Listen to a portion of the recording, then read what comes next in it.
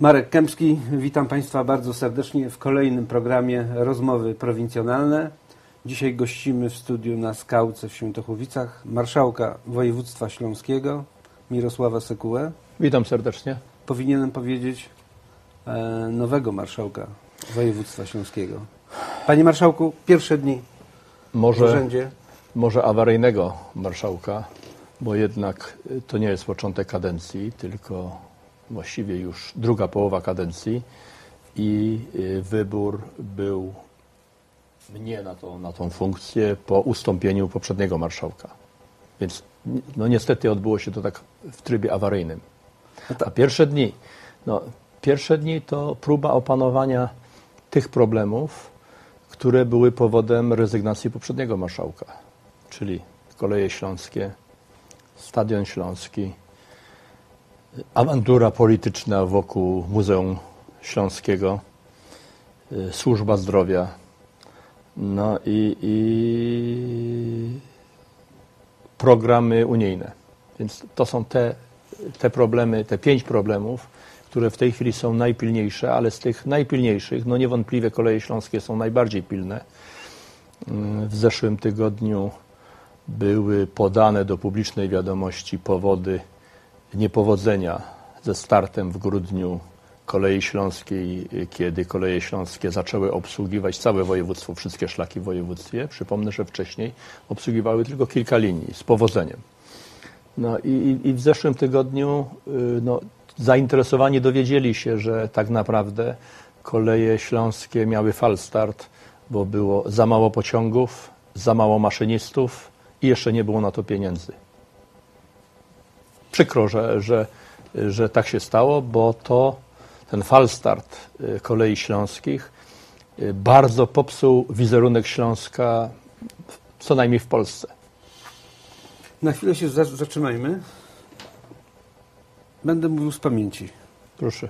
E, wiceprezydent Zabrza, Wcześniej radny i przewodniczący Rady Miejskiej w Zabrzu, później wiceprezydent Zabrza, potem e, Poseł. potem e, poseł AWS-u, AWS-u, potem e, Prezes Najwyższej prezes Izby Najwyższej Kontroli. Izby Kontroli, następnie poseł ponownie, tak, parlamentarzysta, potem, czy ostatnio wiceminister finansów. finansów. Mirosław Sekuła, kandydat No jeszcze powiem, że trudne, całkiem wcześniej 15 lat pracy w Instytucie Chemicznej Przeróbki Węgla w Zabrzu. E, O tym, o, tym, o tym w pewnym momencie także chciałem, ale czy to jest tak, że Mirosław Sekuła specjalista do spraw trudnych? Tak, można dzisiaj e, pana marszałka określić? Ja tak siebie, siebie postrzegam i tak to Bo czuję, jednak to jest że spore doświadczenie, że- a zarazem tym wyzwanie też jest, jak pan przed, przed chwilą powiedział. korzysta się z moich usług wtedy najchętniej, kiedy są jakieś bardzo trudne, y, ryzykowne sprawy. Czy to jest tak, że my mamy jakiś, e, czy mamy do czynienia dzisiaj z pewnym kryzysem władzy w naszym regionie?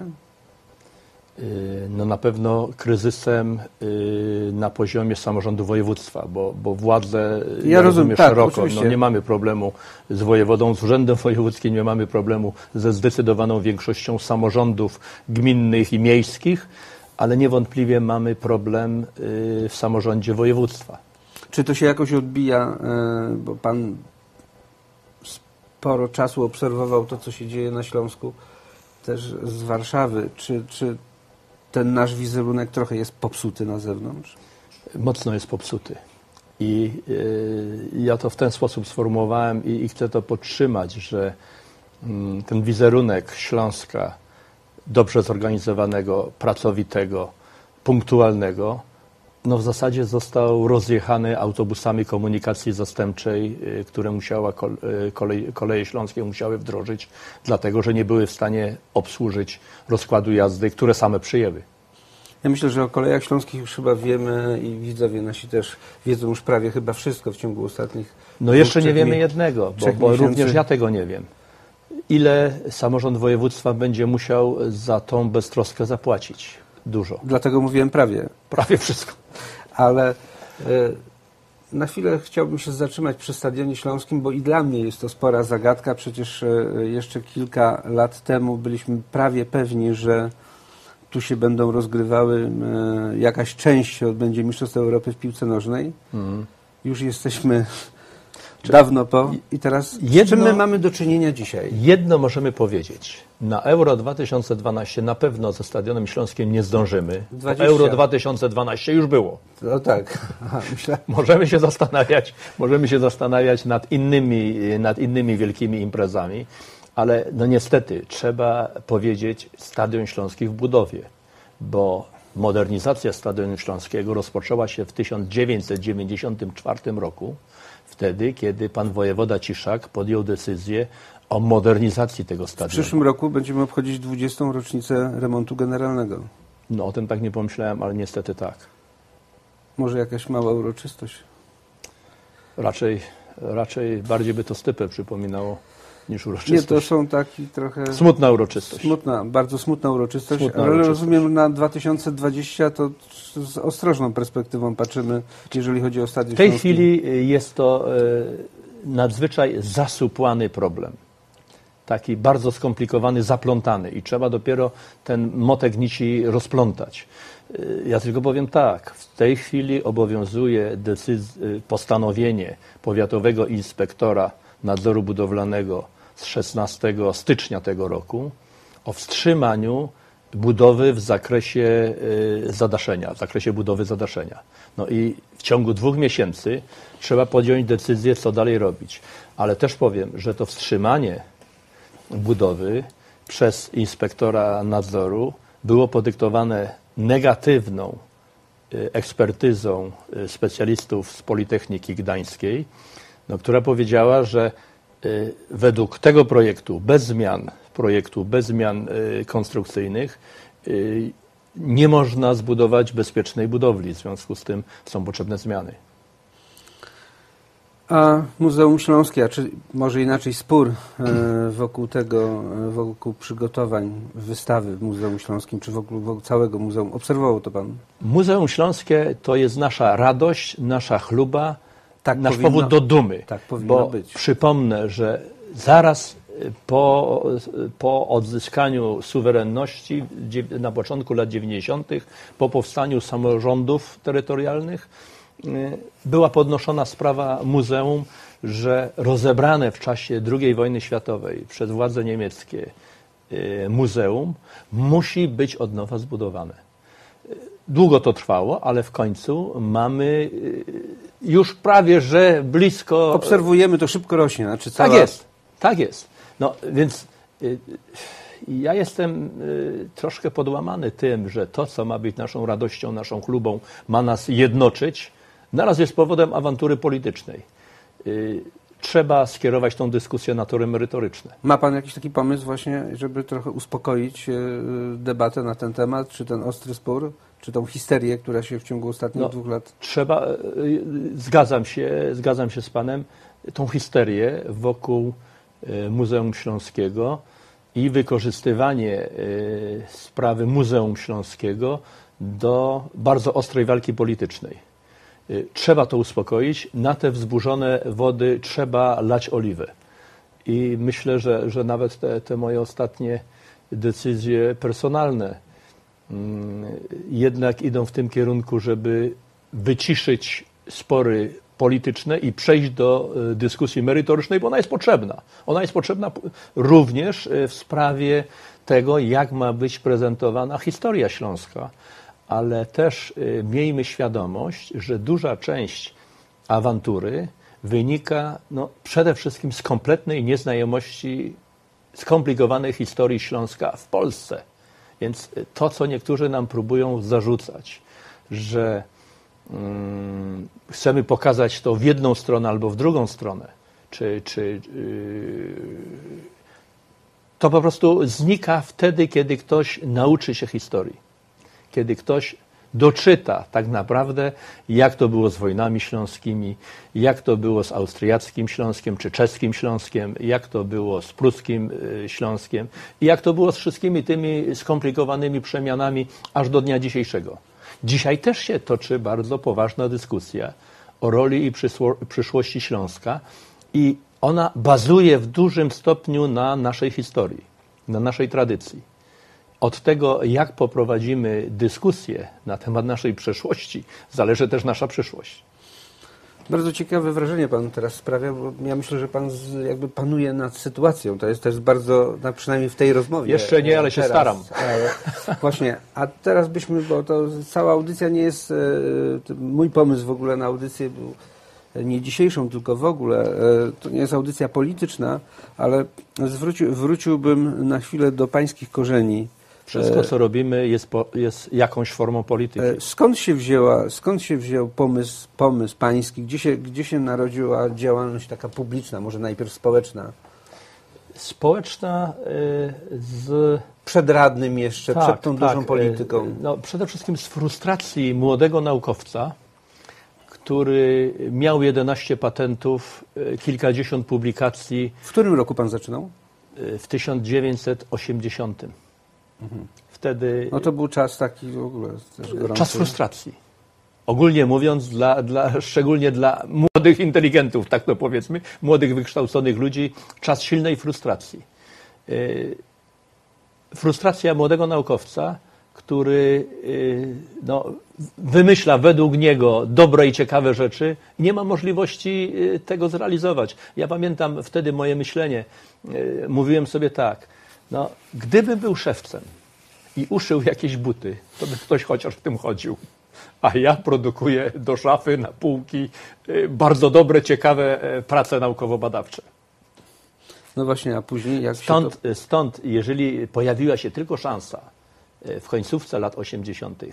na to, żeby być aktywnym i aktywnie wpływać na zmieniającą się rzeczywistość, no to oczywiście Związek Górnośląski i oczywiście samorząd. Dlatego w pierwszej kadencji kandydowałem na radnego i, i podjąłem się trudu bycia pierwszym przewodniczącym Rady Miejskiej w Zabrzu. to... A Samorząd... potem się już potoczyło. Tak, a samorząd jest bardzo ciekawą szkołą takiego e, doświadczenia Tak, ja uważam, że każdy, kto chce pracować w tej ogólnopolskiej polityce, nawet w regionalnej polityce, kto chce piastować jakieś funkcje publiczne czy, czy polityczne, powinien przejść szkołę w samorządzie.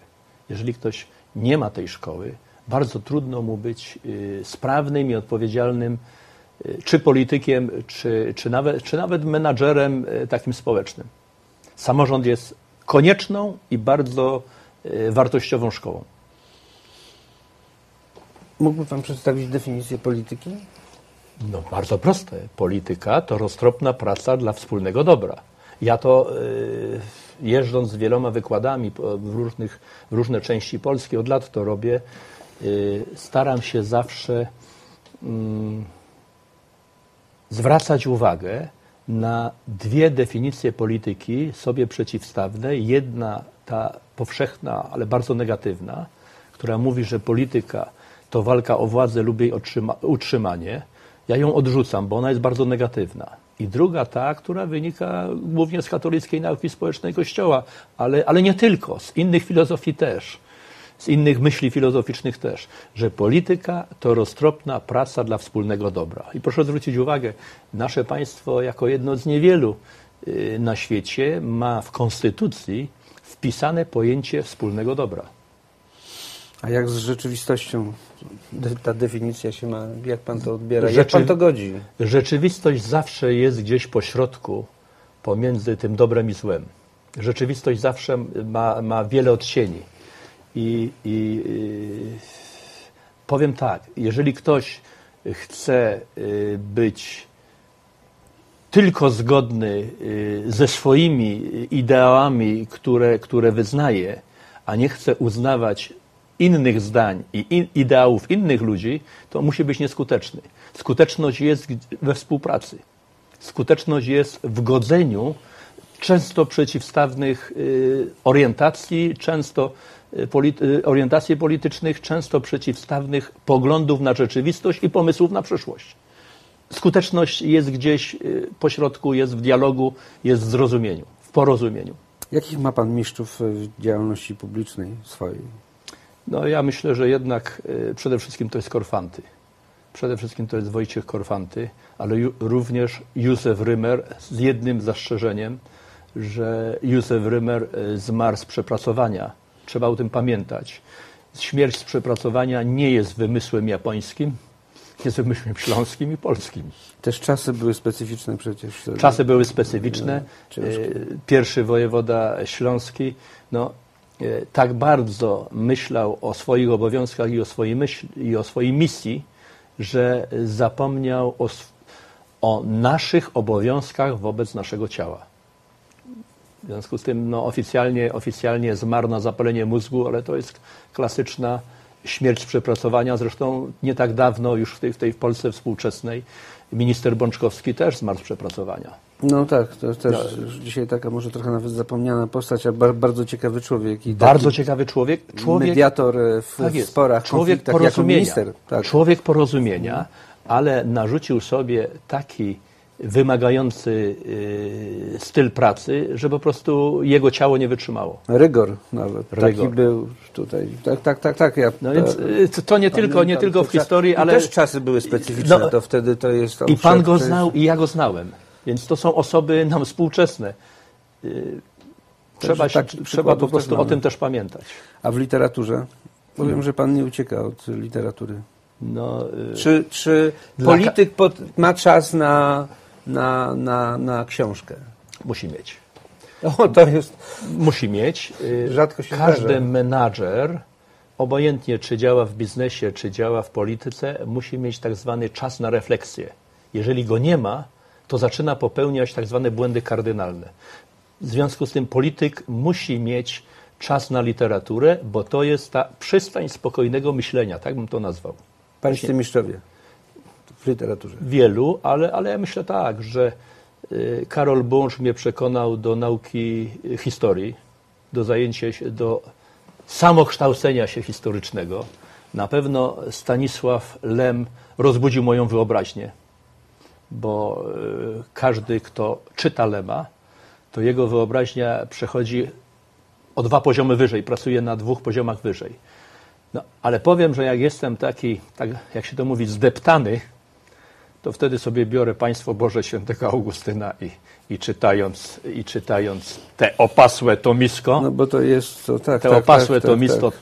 że tak powiem, zbiór traktatów filozoficznych, tak trzeba powiedzieć, wtedy, wtedy te moje rozbiegane myśli powoli tak schodzą w dół. Ale, ale, ale y, no, to, to jest proza jak gdyby, albo, albo, albo taka proza naukowa, y, czy, czy y, inne formy, ale tak naprawdę to jestem przede wszystkim fanem poezji. O, Fanem poezji, bo... proszę coś powiedzieć. Yy, chodzi mi Jeszcze- o to, aby język jętki powiedział wszystko, co pomyśli głowa. I tak dalej, i tak dalej. Słowacki, ale yy, dlaczego? Może dlatego, że ja z pierwszego wykształcenia jestem inżynierem i lubię, yy, jak yy, coś jest tworzone bez zbędnych ozdóbek. A dla mnie poezja jest właśnie inżynierią słowa. Czyli to jest ta, naj, naj, że tak powiem, najciekawsza forma operowania słowem, kiedy w dwóch, trzech słowach, odpowiednio dobranych, można wyrazić myśli, które by trzeba opisać na trzech, czterech stronach prozą. Dlatego, dlatego no, jestem, jestem y, zafascynowany y, poezją i wręcz uważam, że każdy jest poetą, tylko nie wszyscy piszą. Każdy ma tą poezję swoją wewnętrzną i, i w różnych momentach życia myśli jak poeta i formułuje swoje uczucia i swoje myśli właśnie w sposób poetycki. No tylko nie zawsze to wypowiada, a, a, a, bardzo niewielu, bardzo niewielu o tym pisze. Żeby, żeby, żeby pana przekonać, że takich poetów jest bardzo dużo, no to mam tutaj taki, taką zbiór wierszy y, mojego kolegi, wiceprezesa obecnego Najwyższej Izby Kontroli, pana Mariana Cichosza. Więc O, cie, cie, ciekawe. no, no, to nie jest, nie jest, że tak powiem, osoba, która y, stara się być popularnym poetą, ale to jest dowód na to, że y, właściwie każdy tym poetą jest. Ale to jest też dowód na to, że nie są to wiersze do szuflady, bo to zostało wydane. Zostało wydane, ale powiedziałbym, zostało wydane głównie dla przyjaciół. Tak bym to powiedział. Ja to oczywiście mam jego, jego, jego dedykację. No i, i- są takie fajne wierszyki, które pozwalają y, oprzytomnieć. O, tak bym to ładnie nazwał. To jest Że- dobre, dobre słowo, mógłbym powiedzieć na dzisiejszy Politykowi, literatura, i, a zwłaszcza poezja pozwalają oprzytomnieć. W jaki sposób czuje Pan spór, między, który się od wielu lat odbywa w Polsce między Miłoszem a Herbertem? Czy środowiskami, które jedni No wyznają... tak, ale to jest twórcze. Tak? Y, Spory są twórcze pod warunkiem, y, że y, dotyczą spraw, a nie koncentrują się na, dowalania, na dowalaniu ludziom. Oczywiście, że tak. Ja bym powiedział, może mi jest trochę bliższy Miłosz. Szczególnie ta, te części niepublikowane, te jego fraszki takie dosadne, które, e, które mogą służyć jako pewnego rodzaju e, no, przysłowia. Typu e, zaglądali do kufrów, zaglądali do waliz, a nie zajrzeli, a ja tam miałem socjalizm. To jest jego fraszka taka nie, niepublikowana, ale którą, którą on e, wypowiedział, a później napisał w czasie, kiedy wyjeżdżał do Stanów Zjednoczonych. Proszę Państwa, i e, no, moglibyśmy kontynuować tą dyskusję. Myślę, że jeszcze e, kil, kilka tematów miałem do, do zaprezentowania, ale Pan Marszałek tu mnie całkowicie zaskoczył, się w ogóle nie umawialiśmy. E, przynajmniej jeżeli chodzi No, ale o tak ten to miała być, wariant e, li- rozmowa- literacki, To ale miała tu... być rozmowa dwóch ludzi, którzy mają szeroki pogląd na świat. No przynajmniej jakiś, na jakieś kilka spraw. Także to, to, co dzisiaj też nie jest proste. Proszę Państwa, na zakończenie naszego dzisiejszego programu, jak zawsze ja polecam e, e, jakąś literaturę. Ostatnio, Panie Marszałku, odkryłem pisarza, który już od wielu lat e, publikuje. Ostatnio, y, czyli chyba miesiąc temu, otrzymał Nagrodę Polityki. Mam na myśli Szczepana Twardocha. W, w swoim ostatnim programie prezentowałem jego książkę e, Morfina, która została wydana e, w listopadzie ubiegłego roku. Zresztą za tą książkę dostał nominację, dostał nagrodę, do, dostał paszport polityki. Zresztą polecam. E, 20 kilometrów, niecałe 20 kilometrów od Gliwic w Pilchowicach pan Szczepan Twardoch mieszka. A niedawno odkry... No, ale pan zaprasza mnie do jego domu. Ale nie, to ja, ja, ja, ja zapraszam, ja zapraszam do, do, do lektury przede wszystkim. Umówmy do się tutaj. Do zapamiętania e, A to, to już zapamiętałem. do zapamiętania zapamiętałem. nazwiska, bo to jest bardzo ciekawa postać. A ja niedawno Mam odkryłem bliskich znajomych o tym nazwisku. taką, nie- niedawno odkryłem taką książeczkę Epifania Wikarego Czaski. Autorem jest Szczepan Twardoch. Jest to książeczka sprzed kilku lat. E, akcja tego niezwykłego spotkania, które Wikary Czaska ma pod Gliwicami, odbywa się e, tutaj na Górnym Śląsku. W ogóle bardzo ciekawie jest opisany, opisane są e, relacje, ale akcja się odbywa właśnie między innymi w Gliwicach, między innymi e, w kurii biskupiej w Gliwicach. Na wielu ulicach, które gdzieś tam z Którymi chodzimy doświadczeń znamy, chodziliśmy, chodzimy. Tak. E, Gorąco Państwu polecam. Ja, ja tą książkę przez czysty przypadek yy, yy, s- doświadczyłem, znaczy złapałem ją w taniej księgarni. Teraz niestety cena e, Szczepana Twardocha podskoczyła ze względu na, na e, paszport e, polityki, ale nie tak Państwa namawiam do e, pójścia do księgarni, jak pójścia do biblioteki. Bo może faktycznie teraz książki są drogie, ale e, skorzystajcie Państwo z biblioteki, która gdzieś nieopodal w każdym mieście Książka swoja jest, jest- zupełnie inaczej odbierana jak pożyczona. Tak, ale można jak najbardziej. Ja też mam sporą bi- bibliotekę i sobie ją bardzo e, cenię. I to byłoby następne pytanie, którym chciałem panu marszałkowi zadać, jaką ma bibliotekę, ale dzisiaj tego pytania nie zadam. Za małą. Nie mieszczą się książki, leżą niestety że- na podłodze. Że mieszkanie, tak? Za małe? Za, no, za mała za biblioteka, za małe mieszkanie, ale myślę, że to jest problem prawie każdego. Panie marszałku, e, bardzo dziękuję, że znalazł pan czas na e, spotkanie w studiu. Ja rozumiem, że będziemy mogli pytać, zapytać pana o e, dalsze działania. To, to Na kilka pewno. rzeczy się ja o różnych to dzieje. Też, ja o to i- też proszę, bo zauważyłem, że jednym z powodów problemów naszego samorządu wojewódzkiego jest bardzo słaby przepływ informacji. I to zarówno informacji między zarządem województwa, jak i radnymi sejmiku, no a zwłaszcza między zarządem i sejmikiem, a, a mieszkańcami. Za mały przepływ informacji często jest powodem nawet problemów, y, które by nie musiały nastąpić, gdyby y, wiedza była wszystkich pełna.